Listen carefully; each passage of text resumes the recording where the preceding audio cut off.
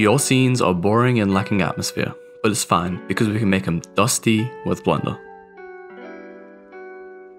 So you've got your scene, but you're missing that dust. Don't worry, it's some very simple stuff.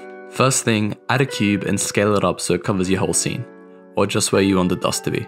Then head into the particle menu and create a new system. You can just leave it as an emitter. To see what we're doing, click on object settings and head down to viewport visibility. Then just switch it from textured to bounds. Next, set the start and end frames to 1. This makes sure that all our particles exist from frame 1. Also, make sure to increase their lifetime to a high number so that they live forever. To get the particles to generate from inside the cube instead of the surface, we need to change the source from face to volume.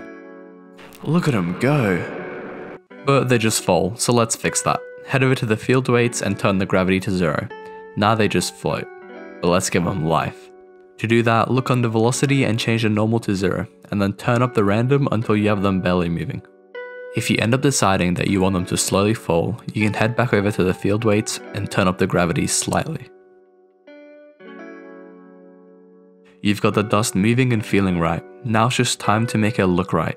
Create an icosphere and leave the subdivision level as 2.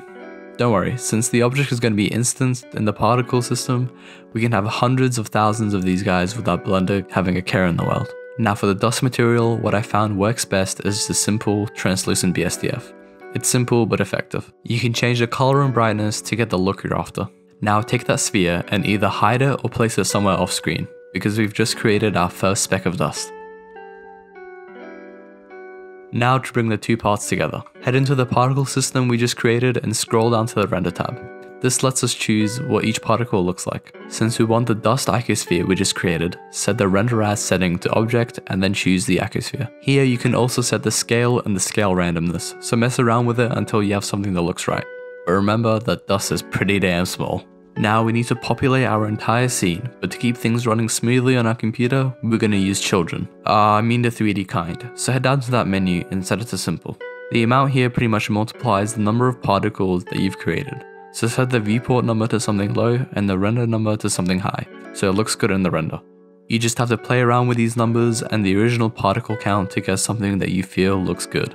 Now for the final step, to make sure our dust emission cube doesn't obscure anything, we're going to either give it a volumetric material or just give it a transparent material to get it fully out of the way. With that complete, just turn on depth of field in the camera settings and you should start seeing out of focus dust particles. Hit render and you're done. If you learned something or found value in this video, just leave a like or a sub because it really helps out my small channel.